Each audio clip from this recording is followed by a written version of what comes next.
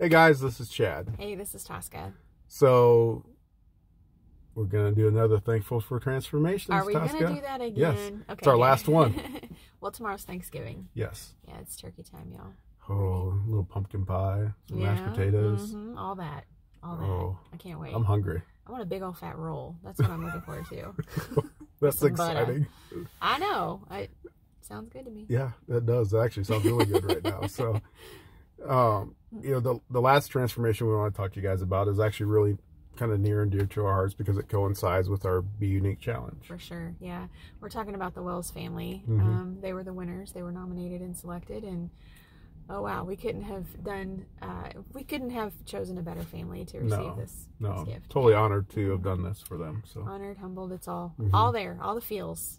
All the feels. mhm. So their house, let me tell you about it, guys. Okay, it was brown, very brown. Uh, not a lot of character. Um, I met with Katie. We talked about color. She had gray in mind. Uh, we looked Mhm. through many different Benjamin Moore paint colors of gray. We chose Chelsea gray. It's a that's great a historical color. too, isn't it? I think it's on the historical Uh, palette. I'm not sure about that, but um, it is a beautiful color and it's very popular uh, inside and outside. Actually, uh, more popular on the inside, I think, but it is Mm-hmm. just a perfect gray. Um, anyway, their house now with the gray body and the crispy white trim. Uh, and their cute little Adirondack chairs on the front porch. It just looks to me like something you'd see in Cape Cod or something.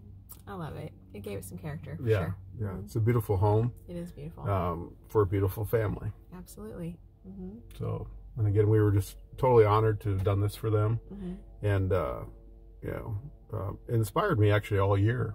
I think. I think so too. Yeah. Mhm. And I, I love the Be Unique Challenge and everything that it stands for. It's Mhm. just, it's great. Yeah.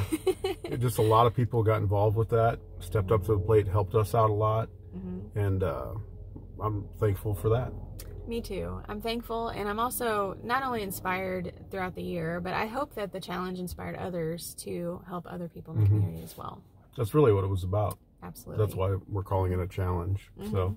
Mhm. um it's uh i don't know you know tomorrow being thanksgiving we should probably let these people know what we're thankful for Oh, so- okay. What are you thankful for, Chad? well the guys, The guys. you know they do all the the heavy lifting so you know yeah, they do. i'm thankful for you. Oh. i'm thankful for my family. Hmm um i'm thankful that the vikings are on a winning streak.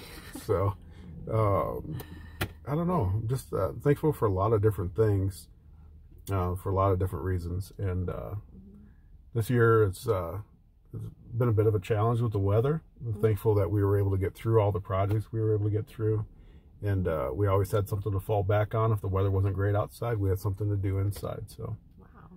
what are you thankful for uh, all those things. Like you just really knocked it out of the park right there. Mhm. I don't even know if there's anything else I can be thankful for.